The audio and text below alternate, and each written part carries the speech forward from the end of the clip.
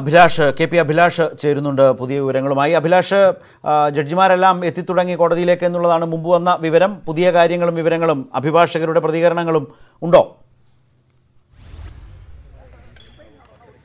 Right right തീർച്ചയായും ഇപ്പോൾ അഭിഭാഷകയായ ഉഷാനന്ദിന് നമ്മളോടൊപ്പം നേരിട്ട് ചേരുകയാണ്. അവർക്ക് എത്രയും പെട്ടെന്ന് കോടതിയിലേക്ക് കയറേണ്ട സമയമായിരിക്കുന്നു. കാരണം ആദ്യം തന്നെയാണ് ഈ ഹർജിയിന്മേൽ വിധി വരാൻ പോകുന്നത് അല്ലേ? അതെ തീർച്ചയായിട്ടും. പത്രമണിക്ക് കോടതി ഇരിക്കുന്ന സമയത്ത് തന്നെയാണ് വിധി പറയാൻ പോകുന്നത്.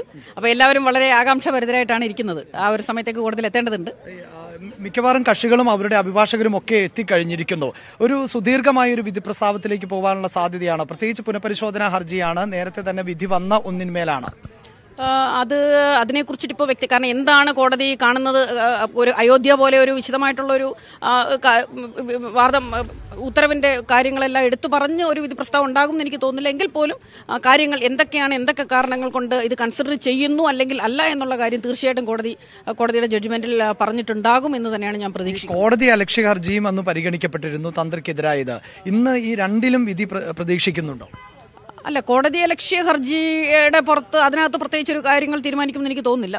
പ്രധാനമായിട്ട് ഈ റിവ്യൂ പെറ്റീഷന്റെ ഒരു തീരുമാനം വരുമ്പോൾ സ്വാഭാവികമായിട്ടും മറ്റിതുമായിട്ട് അനുബന്ധമായിട്ടുള്ള മറ്റെന്തെങ്കിലും ഹർജികളുണ്ടോ? അത് സ്വാഭാവികമായിട്ട് അതിന്റെ കൂട്ടത്തിൽ തന്നെ ലിസ്റ്റ് ചെയ്യപ്പെടുകയുള്ളൂ.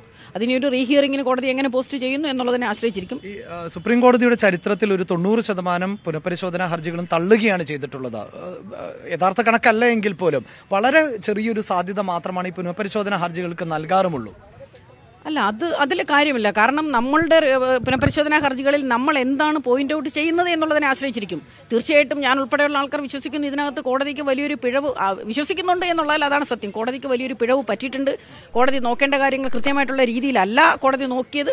അത്തരം കാര്യങ്ങളെല്ലാം ഞങ്ങൾ വളരെ വ്യക്തമായിട്ട് ഞങ്ങൾ ഞങ്ങളുടെ പെറ്റീഷനകത്ത് പറഞ്ഞിട്ടുണ്ട്. സ്വാഭാവികമായിട്ടും കോടതി അത് എല്ലാ പെറ്റീഷൻസും വായിച്ചു നോക്കി. അതിനകത്ത് ഞങ്ങൾ ഉന്നയിച്ചിരിക്കുന്ന കാര്യങ്ങൾക്ക് ഒരു മറുപടി കോടതിക്ക് എന്തായാലും അതിനകത്ത് എഴുതിയേ പറ്റുകയുള്ളൂ. അതുകൊണ്ട് തന്നെ സ്വാഭാവികമായിട്ടും കോടതി ഒരു ഒരു ഇന്റർഫിയറൻസ് ഞങ്ങൾ എന്തായാലും പ്രതീക്ഷിക്കുന്നുണ്ട്. വളരെയധികം നന്ദി ശ്രീമതി ഉഷാനന്ദിനി ആ, ഈ, കക്ഷിയുടെ ഭാഗത്ത് നിന്ന് തീർച്ചയായും ആചാരങ്ങൾ പാലിക്കപ്പെടണമെന്നും വിശ്വാസികളുടെ അവകാശങ്ങൾ സംരക്ഷിക്കപ്പെടണമെന്നും ഉള്ള അഭിപ്രായം വാദിച്ച ഒരു അഭിഭാഷക കൂടിയാണ് ആ നിലപാടിന് കോടതിയിൽ നിന്ന് അംഗീകാരം തീർച്ചയായും അത് കാത്തിരിക്കാം. കെ പി അഭിലാഷ് ആണ് വിവരങ്ങൾ ഇപ്പോൾ നൽകിയത്. ശ്രീ പീതാംബരക്കുറുപ്പ് മുൻ എം പി കോൺഗ്രസ് നേതാവ് ചേരുന്നുണ്ട് ശ്രീ പീതാംബരക്കുറുപ്പ് എന്താണ് ഇക്കാര്യത്തിൽ താങ്കളുടെ ഒരു ഫൈനൽ എക്സ്പെക്ടേഷൻ പ്രതീക്ഷ എന്താണ്? ഇനി കുറച്ച് സമയം മാത്രമല്ലേ ഉള്ളൂ. നമുക്ക് ഒരുപാട് പിന്നിലേക്കൊന്നും പോകണ്ട ഇപ്പോൾ മനസ്സിലെ ഒരു പ്രതീക്ഷ.